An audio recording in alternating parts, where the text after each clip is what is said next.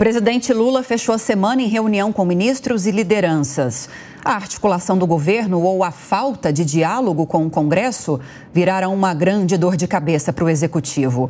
O André Anelli explica melhor. O presidente Lula convocou de forma emergencial todos os líderes do governo para tratar das pautas consideradas importantes pelo executivo e que vão ser analisadas nos próximos dias pelo Congresso Nacional.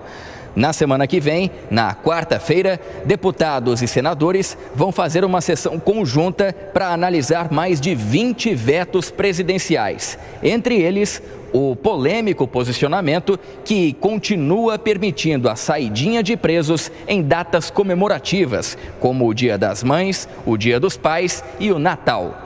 O governo defende que o direito seja mantido por questões humanitárias e constitucionais. O Congresso, por outro lado, tem resistência e, inclusive, aprovou o fim desse benefício.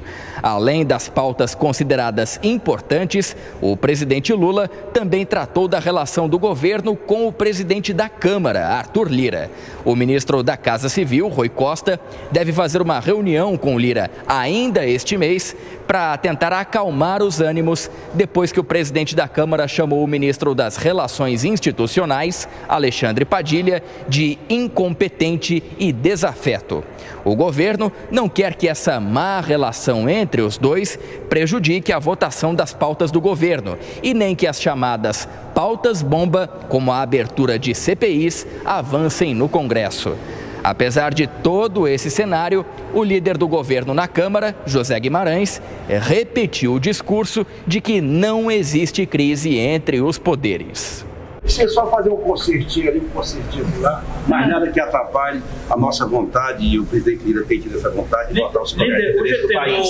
Além da melhora na relação que o governo diz que segue inabalada, o presidente Lula também debateu com os ministros sobre pautas de ordem econômica, que também devem ser votadas nos próximos dias.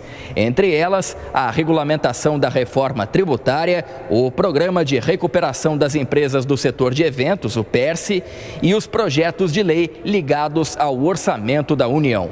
O líder do governo, o deputado José Guimarães, também externou a preocupação com a PEC do quinquênio, que estabelece um bônus automático de 5% nos salários de juízes e promotores a cada cinco anos. Se essa PEC prosseguir, ela vai quebrar o país. Quebra o país e quebra os estados. Não tem o menor fundamento, na minha opinião, o presidente não falou sobre isso. É opinião minha como líder da Câmara. Essa PEC não pode, ela quebra fiscalmente o país. Eu não sei como é que o Senado aprovou isso. E a reunião de líderes aqui no Palácio do Planalto também teve contornos políticos. O presidente Lula teria manifestado um desconforto com o PT.